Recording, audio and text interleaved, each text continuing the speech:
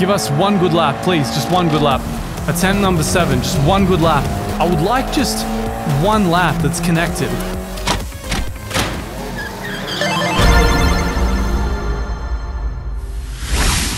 Today, we're testing ABS and traction control in three different permutations to find out whether disabling them partly or outright actually makes us faster. We'll be recapping everything we learned on our direct driving tests at the very end, so stay tuned. Ever since my review of GT7, I've had a small influx of comments from people asking, why the hell were you driving with counter steering assist on? To which I naturally respond with, I'm an idiot and accidentally left it on after switching from controller to wheel, and that session was when I happened to record about 90% of the footage for the review. Turns out that turning it off actually made the cars a heck of a lot easier to drive. Go figure. It got me thinking though, given that Gran Turismo has a very unique take on assists, why don't I actually put the main ones to the test and see whether disabling them all actually makes us quicker? We'll be putting two different cars to the track for this test a humble little MX5, and a far less humble KTM Crossbow. One is a low-powered light FR Sports Coupe, and the other is a track day focused MR turbocharged beast. No points for guessing which is going to be harder to drive without assists. We'll be testing them both with TC and ABS on, then TC off and ABS on, and finally with both assists off. ABS will always be set to default because there's very little difference between it and weak, while TC will always be set to 1 because any higher just robs us of way too much engine power. Subscribe for more stupid GT7 tests, and be sure to let me know what you want to see next in the comments down below. Now let's get scientific. Sort of. Right, we're beginning with the ABS on default and the traction control at 1. This is my go-to default startup setting for most cars in Gran Turismo 7. Mostly because it's safe, but still playful enough that you're not going to be losing too much power to the traction control. That's not to say not losing any power. So here we go, we're going to aggregate a few laps, or rather just pick the fastest lap out of the batch and see what works for us. As we've already established, of course, the ABS preference is down to the user. I haven't found very much difference whatsoever between weak and default, so we're going to just keep it on default for all of these tests to stop this getting overly convoluted for no reason. But generally speaking, there's really nothing in it between default and weak, so just pick whichever setting you're comfortable with. I would recommend default. I think comfort soft tires, so nothing crazy, don't expect insane times. We just want to set a benchmark and then put up the rest of our times against that.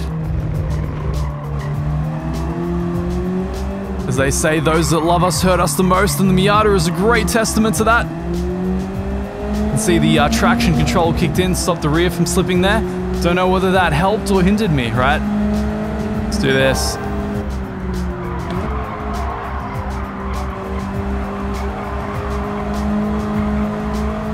There we go, come on. Let's get it. You know what? You know what? I'll take it. A 112.196 with traction control on 1 and ABS on default. So let's make our way down from here. ABS is going to stay on default, but we're going to put the TC on 0. Alright, if you look in the bottom right corner, TC down to 0. ABS, as you can see, is still on down there. So here we go. How, if at all, is this going to affect our times?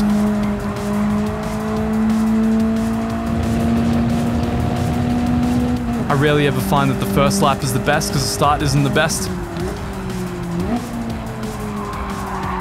Ooh, a little bit spicy on that entry there. Oh, yeah, straight away the car starts breaking out on us. Becomes a bit more playful. Just feel it out in the slap, see what is and isn't possible.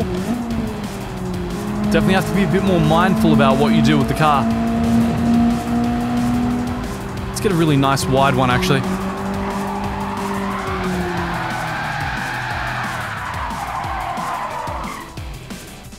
So that can happen with traction control off. Okay, run up number two.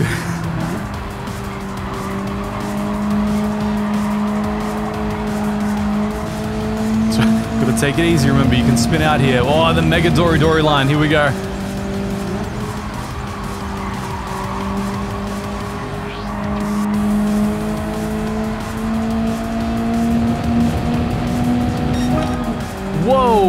Was not expecting that. Let's go in for another lap. That wasn't even perfect. It's giving me a pretty good idea of what's going on. So we're already about one tenth or so, I think quicker. Or half a tenth or so, whatever the case, we're quicker without the TC. I wonder how much we can improve on this. Can we get it into the 111s? The game would suggest yes we can. As you can see, it's a lot more lively, a lot more playful, the MX-5, with no TC. ABS still keeping us tightly on the track.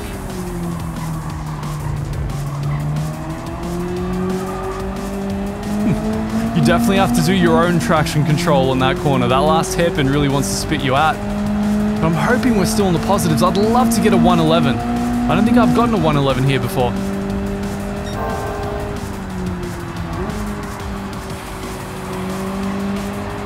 Really just pelts it, pelts it through here. Let's go, let's go, let's go, let's go. Oh, so close, so close.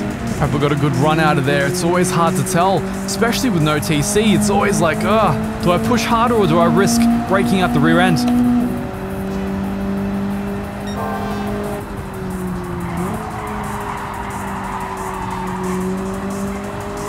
I think I might have nailed this. I think I might have nailed it. Come on. Oh my god, that's insane. I've, I've never gotten that time before. That's uh, that's kind of impressive uh, for my Amiga skill level anyway, and considering I'm not using load cell pedals, so throttle's actually kind of hard to modulate on this low-end CSL set of pedals. So it seems in the case of the humble MX-5, keeping the ABS on default and turning the traction control off allows you to apply a lot more of your power keep the car rotated with the throttle as well, and kind of give you a bit more flexibility and apply a bit more of the power so long as you're ginger with your throttle application. So in the case of the MX-5, it seems like there is a case to be made for the traction control being disabled. Now we're going to disable everything. Alright, ABS is off, traction control is off, and I am afraid. I know what this means, I've tried it before, and uh, it's going to be a very hit or miss run for us. It might take a few attempts, so just bear with me. I will say, wow, okay, the braking distances do seem a bit shorter when you nail it. And I will say your mileage may vary. If you have a higher quality set of pedals, obviously if you're a PC sim racer, if you manage to make them compatible with the PlayStation, you may find that keeping the ABS off is, is less of an impediment to your driving than it is to mine. Because I'm always kind of afraid. Now I'm applying the throttle too fast. Alright, it was a warm-up lap. It was a warm-up lap. All warmed up. All warmed up. Oh no, Ermin. Gone too wide. Gone too wide, Ermin. No, Ermin. You know what? That that is bloody good. Considering I'm in mortal fear every single time I press down on the brake, for the, the peace of mind that you lose disabling the ABS, it's probably not worth it, given how much harder you have to work for the lap. Like, I wouldn't want to be driving like this in a race, and mind you, this is an easy driving road car. Come on, we can do this. I'm feeling it. I'm feeling the 111. I'm not, I'm not, not feeling the 111. I would say based on this experience, it's not worth keeping the ABS off. I, I never really got the sensation that I was going to improve on the lap time I set with the ABS on. Traction control off, definitely a potential positive in the MX-5. Now, based on what we've discovered here, I would say that you definitely want to keep the ABS on at all costs, at least with the MX-5, but the TC, your mileage may vary. I'd say that there's higher performance potential with the TC off, but if you have a lead throttle foot, you may want to start with TC at 1 and work your way back. With the ABS, I never quite got the sensation that I was headed toward a lap that was at all faster than the run where I had the ABS engaged, so you really don't seem to stand to gain all that much for the increased risk of locking your wheels and potentially botching your lap entirely, so definitely keep the ABS on in my humble opinion, but TC, well, consider turning that one off, at least on the MX-5. What we're going to see now is what happens when we increase the horsepower and lower the weight. Does this calculus change at all? We're in the KTM Crossbow now. a lot more powerful and a lot lighter at the same time. Now with this car, we're of course starting with my default setup. We've got the traction control at 1, and we've got the ABS on default. So let's see how we go. This is definitely going to be more of a warm-up lap for me. And I'm already very thankful to have the ABS on. I'm feeling it. I can feel the traction control immediately kicking in, cutting my power, and I'm thankful for all of it. I feel like there might be a bit of spinning involved here before the end of the day. Definitely a bit more of a spirited experience in the uh, humble old MX-5. Now, definitely need to tap the brake a bit more than on the MX-5 through there. Oh, I can feel it. Oh, it wants to break out there as well. Oh my god. All right, this is going to be...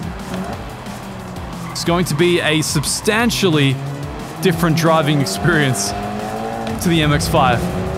Now this, mind you, is with the, the full assist shebang. TC and ABS. Let's go. South first lap.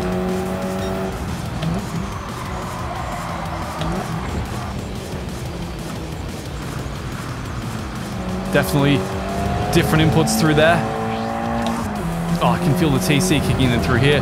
Oh, that's insane. That is wild.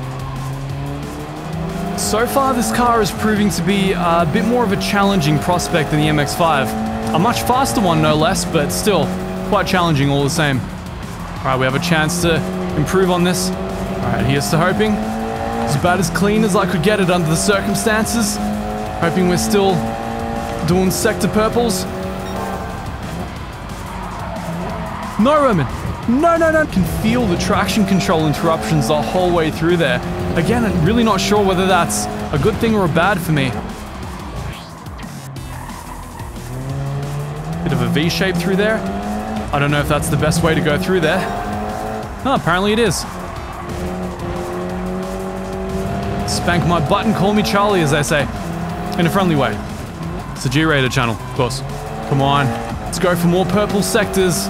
I'm in the mood. I'm in the mood for a record. Let's go.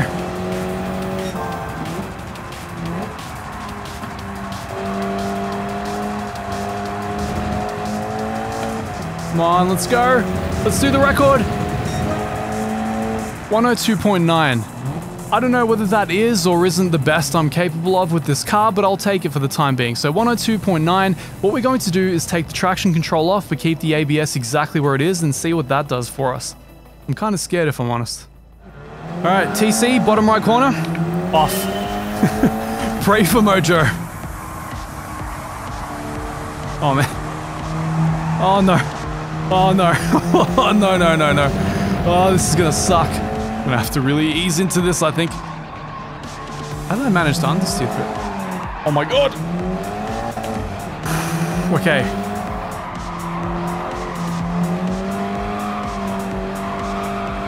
Wow, okay.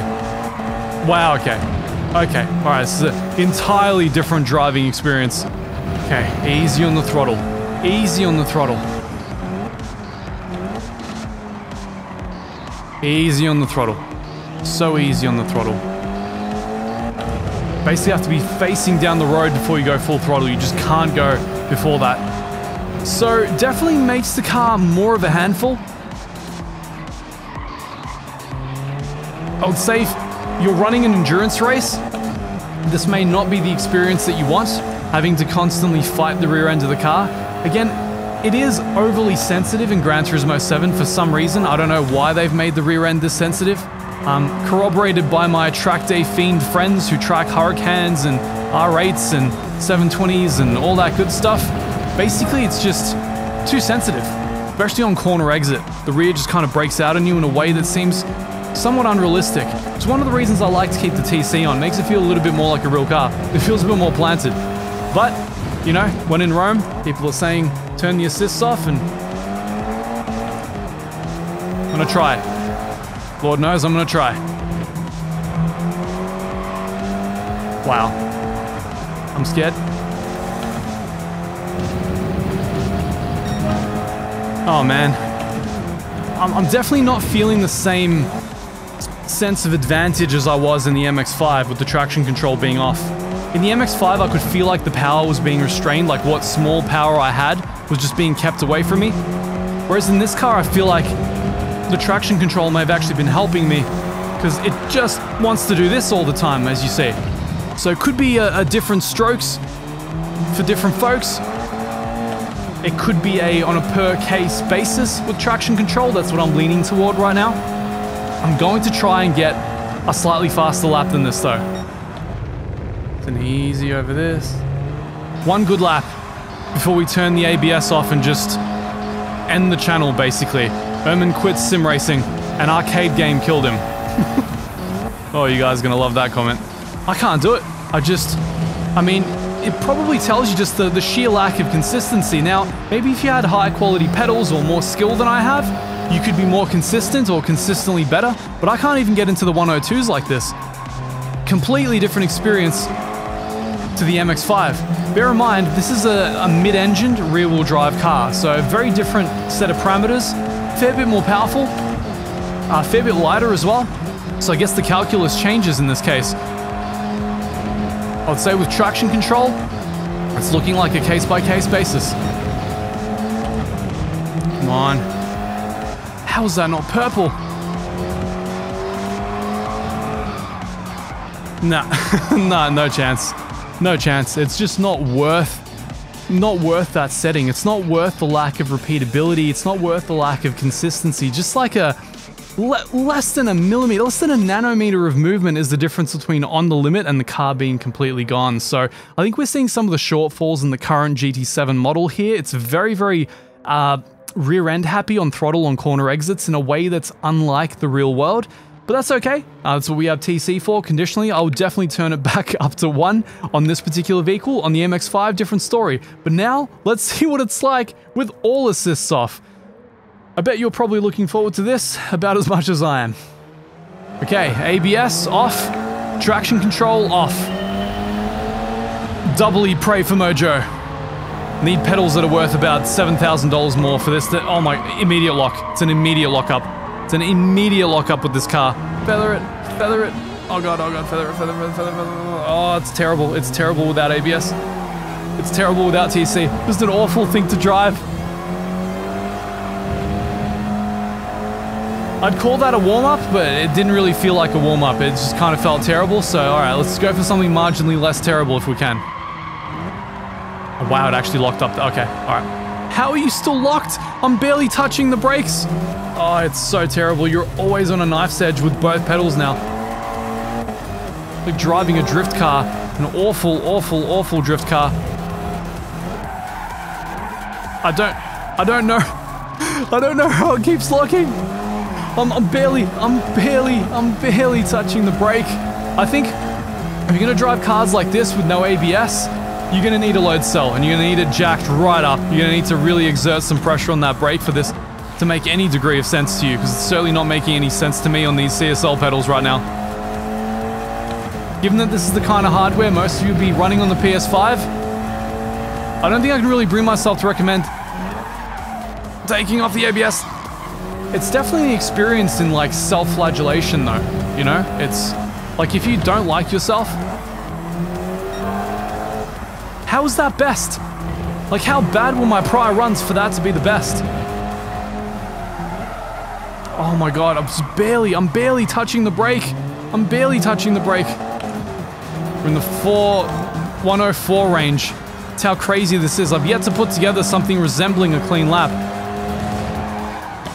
How? How? I just, I barely touched the brake. Ah, right, here we go again. It, ju it just won't, it won't, it just, it won't, it just won't. I, I don't know how many thousands of dollars of hardware you need in order for this to even be possible, but I don't have it. I'm not able to deal in, in such light foot pressures. it just doesn't make any sense. I would like just one lap that's connected. It doesn't even have to be fast. I just, I want to know that I did one lap like this, that it's possible, you know? And then I can tell you to never run this because it just makes no sense at all for racing. Just like zero sense. Give us one good lap, please. Just one good lap. Attempt number seven. Just one good lap. Just one good lap. That's all I want. Brake super nice and early. Still lock up somehow magically. Get a horrible run through there. I'm using every last bit of concentration I have for this. Yes, do the V. You know what? I don't even care. I'll take it. Yep, the game will take it too.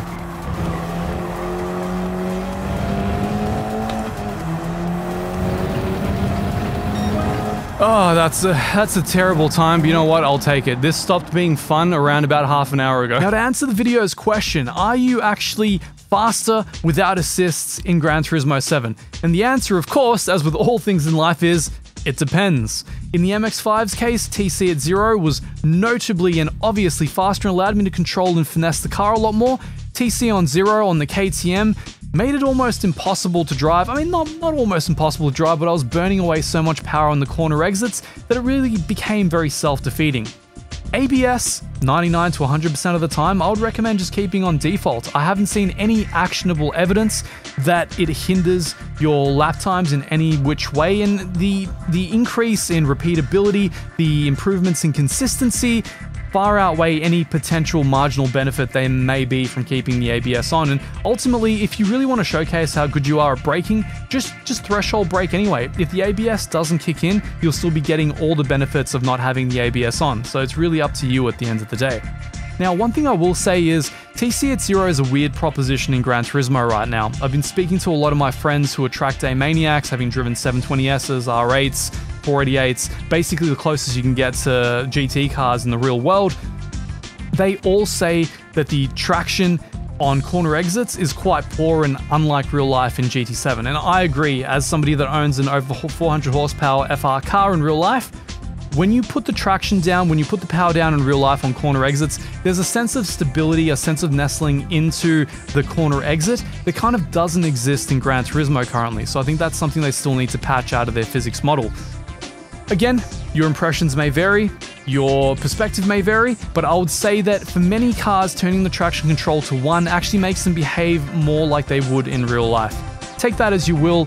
Subscribe to the channel for more GT7 content. I hope you enjoyed this little test as much as I enjoyed running it, and uh, make sure to grab yourself some fine Fanatec gear in the description down below to help support us.